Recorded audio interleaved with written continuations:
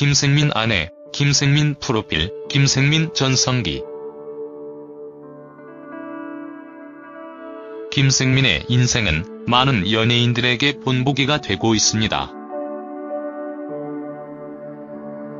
그 이유는 아주 오랫동안 자신이 출연하고 있는 프로그램에 장수 출연을 하고 있기 때문인데요. 연예가 중계가 시작된 이후부터 연예가 중계 리포터로 아직까지 활동 중이기 때문입니다.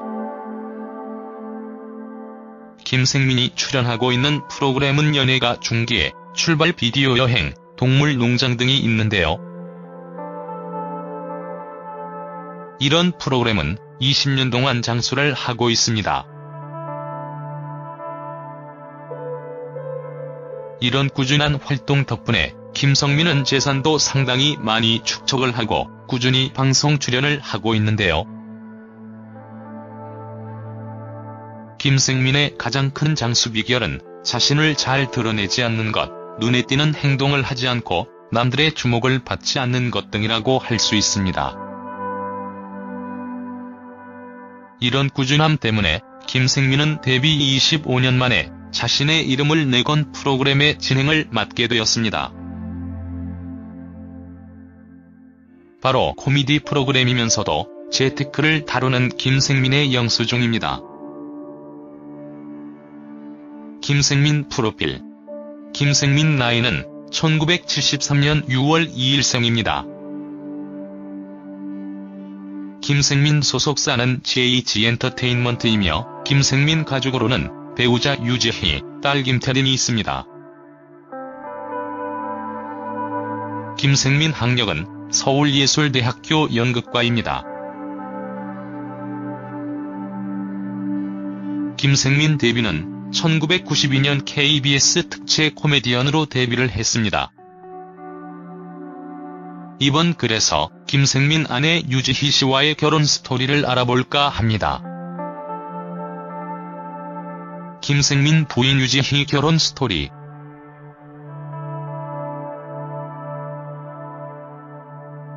김생민 결혼은 2006년 8월 20일에 했습니다. 김생민 아내 직업은 당시 큐레이터로 화가라는 직업도 가지고 있었죠. 김생민과 아내 유지희 씨는 선배 집들이에서 처음 만났습니다. 당시 8에서 9명 정도가 모여서 삼겹살을 구워 먹고 있었는데 건너편에 예비 신부인 유지희가 앉아 있었다. 내가 웃음 포인트가 약한데도 내가 하는 말에 웃어줘서 좋았다. 첫 만남부터 내가 마음이 있었다.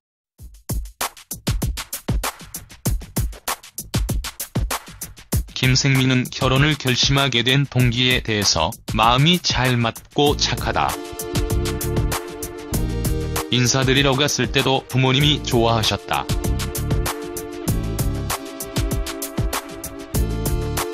(2년) 동안 뽀뽀를 많이 해서 그런지 서로 닮아가는 것 같다라고 말을 했습니다. 김생민은 아내에 대해서 신부가 말이 없고 묵묵히 뒤에서 지켜봐주는 스타일이다. 1년 전부터 우리는 결혼할 것이다고 세뇌를 시켰다. 그런데 신부가 그래도 프로포즈를 해달라고 해서 케이크에 촛불 하나 꽂고 신부가 직접 고른 반지를 꽂아서 프로포즈를 했다. 촌스러움의 극치다.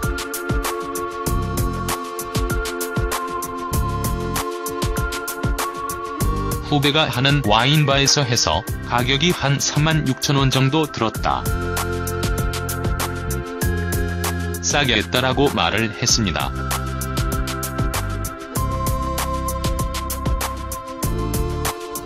김생민은 당시 결혼 후 어떻게 살 것인가에 대해서 내 목표는 듬직한 남편이 되는 것이다. 열심히 살겠다라고 말을 했습니다.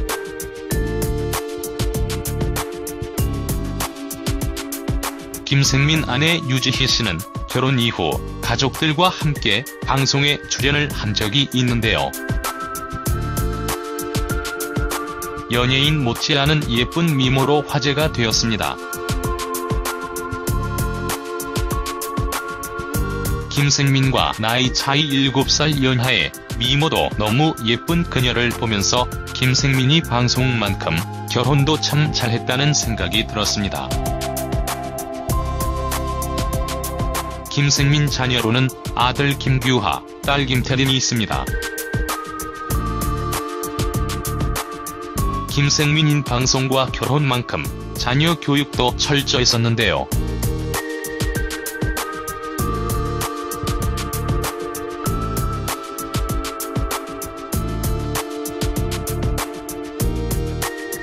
다양한 것을 경험하고 올바른 판단을 할 수 있는 아이가 된다면 바랄 게 없사라며 아빠로서의 꿈을 밝히기도 했지요.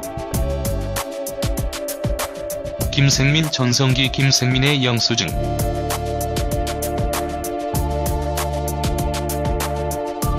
김생민은 팟캐스트로 시작한 김생민의 영수증으로 방송 이후 최고의 전성기를 보내고 있습니다. 팟캐스트를 방송으로 만드는 시도는 최초인데요. 김생민의 영수증은 누구라도 공감하는 포인트를 김생민이 날카롭게 지적하는 부분이 상당히 재미있는 프로그램이죠. 누구라도 돈을 쓰는 것들을 더 잘 살릴 수 있도록 제작을 하고 있는데요. 저축 적금으로 국민 대통합을 꿈꾸는 과소비 근절 돌직구 재무상담쇼로 앱스토어 기준 오디오 팟캐스트 인기 차트 1위를 고수하고 있는 프로그램을 방송으로 만들었습니다.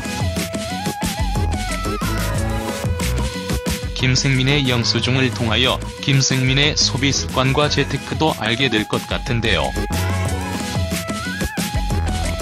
김생민은 1992년 처음 방송국에서 일하기 시작해서 받은 출연료를 무조건 다 저금했다고 합니다.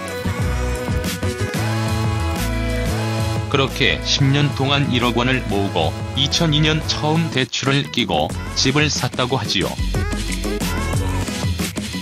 돈이 조금 모이니 김생민의 재산 역시 늘어났습니다. 2007년 한 방송에서는 10억 원을 모은 김생민의 사연이 화제가 되기도 했죠. 김생민의 영수증을 통하여 김생민의 생활 패턴과 재테크가 다시 주목을 받게 될 것 같은데요.